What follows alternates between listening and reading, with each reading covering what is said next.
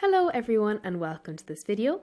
Cliona here and today I'm going to be taking you through the solution to question 2 from this Junior Cert higher level paper and this question is based on probability. So let's get right into it. We're told that when Maeve's team play a match they can either win, which is represented by W, draw, which is represented by D, or lose, which is L. Question A asks us to fill in the table to show the nine possible outcomes when Maeve's team play two matches. One is already done. WD means that they win match one and they draw match two. So this is win from match one and draw from match two. So let's continue to fill this out. So an outcome here is that they win match one and they win match two. They win match one and they draw match two is another outcome that's done for us, or they could win the first match and lose the second. They could also draw the first and win the second, draw the first and the second, draw the first and lose the second, and then they could lose the first and win the second, lose the first and draw the second, or they could lose the first and lose the second. So that's our box done, and let's move on to question B. So in question B, we're told that Maeve thinks that each outcome in the table is equally likely. Based on this, find the probability that when Maeve's team play two matches, they win at least one match. Give your answer as a fraction. So we know that our answer is going to be all over 9 because there's 9 possible situations. Okay, so there's 9 boxes here. So there's 9 possible outcomes. So how many of those outcomes where they win at least one match? So let's see this and I'm going to use my pink pen. So this is one because they win two. They've won one here. They've won one here. There's a win here. And there's a win here. So we have one, two, three, four, five um, possibilities of them winning at least one match. So that's five over nine. So the probability that when Maeve's team play two matches, they win at least one is five over nine. So for question A and question B, you're going to get a total of 15 marks. Now in question C, we're told that Maeve's team play five matches in a competition. We're asked to work out the total number of different possible outcomes for Maeve's team for these five matches. And we're given an example. One possible outcome could be they win the first match, win the second, lose the third, draw the fourth, and win the fifth. So let's have a look at it here. So I'm going to say M1 is match one, match two, match three, match 4 and match 5. So they can either win, draw or lose. So there's three possible outcomes for each match. So there's three possible outcomes for the first match, three possible outcomes for the second, and so on. Okay? So now we need to think of our and or rule, which I hope you're familiar with in, in probability. When we say the word and, we need to think multiply. So there's three possibilities for match one. And so multiply. Three possibilities for match two, and three possibilities for match three, and so on. So that's going to be 3 to the power of 5, okay? Because it's 3 by 3 by 3 by 3 by 3. So we can just leave it as 3 by 5, or you can put it into your calculator.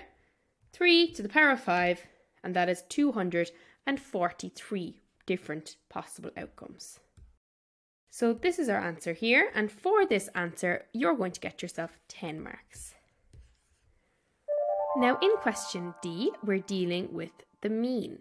So we're told that Maeve's team plays 11 matches in a league and the table shows the number of goals that they score in each of the 11 matches. So we're asked to work out the mean number of goals that Maeve's team score per match and to give your answer correct to one decimal place. So to do this, we're going to add up all the goals from all the matches and divide it by 11. So we're going to add up 3 plus 1 plus 1. So I'll take it off as I go so I'm not forgetting any. Plus 0, so we don't need to put that in. Plus 2. Plus 7. Plus 1. Plus 2. And again, we can forget about the 0. Plus 1 plus 3. And we're going to divide that by 11 because there's 11 matches, okay? So let's add these up. So 3 plus 1 plus 1 plus 2 plus 7 plus 1 plus 2 plus 1 plus 3.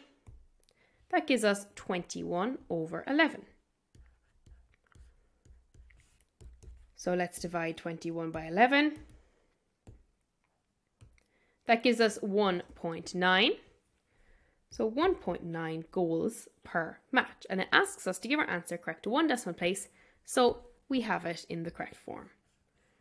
And for this question, you're going to get yourself 10 marks also. Now, question E of this question is definitely the most challenging, but we're going to break it down and go through it step by step. So we're asked to complete a pie chart below to summarise the data above, showing the proportion of their games in which Maeve's team scored. Zero goals, one goal, and so on. Label each sector and the size of the angle clearly, showing any workings and construction lines. So I'm going to draw a little table, okay? So I'm going to say goals and then frequency. So we had zero, we had one goals per match, we had two, we had three, and we had seven. How many times did they score zero goals? And I'm going to have to go back up to the data for this. So they scored zero goals, one, two times. How many times did they score one goal?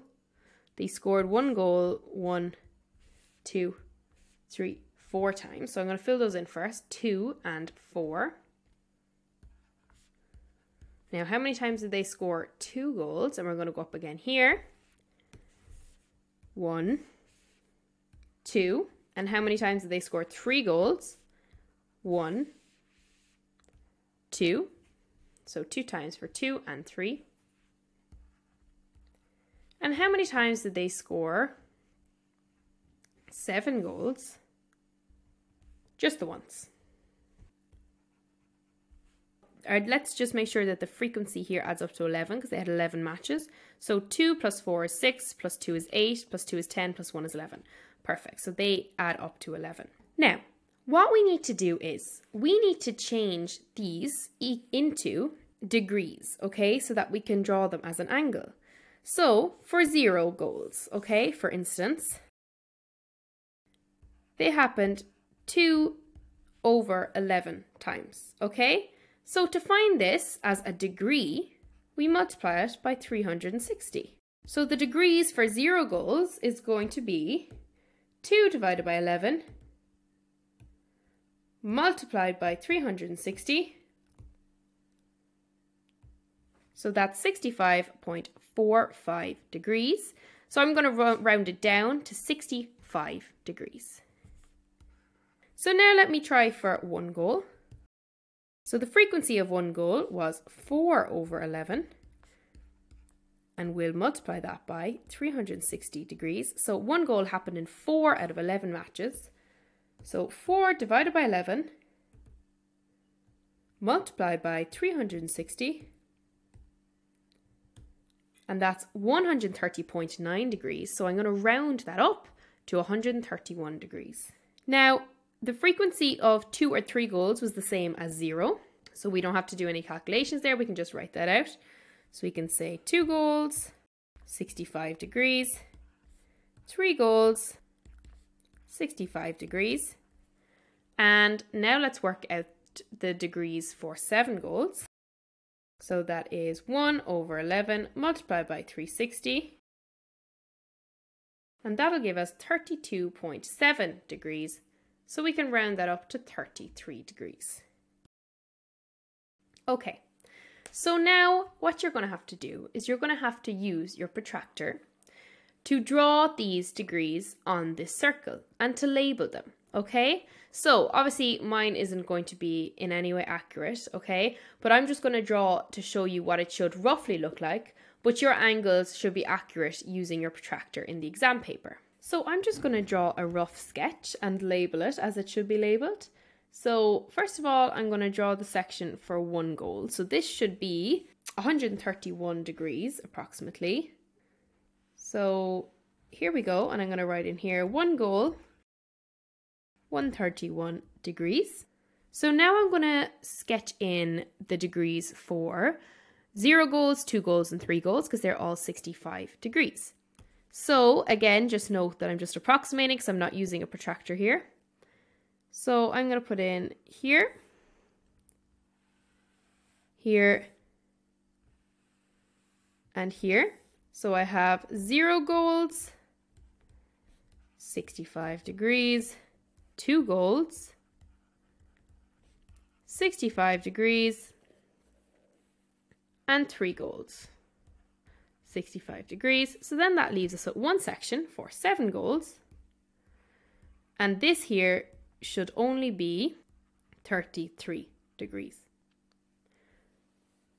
So your circle should look something like this, only your angles should be exact using your protractor to measure the degrees in each case. So for this question, you're going to get a total of five marks, and that concludes this question. So thank you very much for listening, guys. I hope this cleared up any queries that you had based on this question, and I'll see you all in the next video.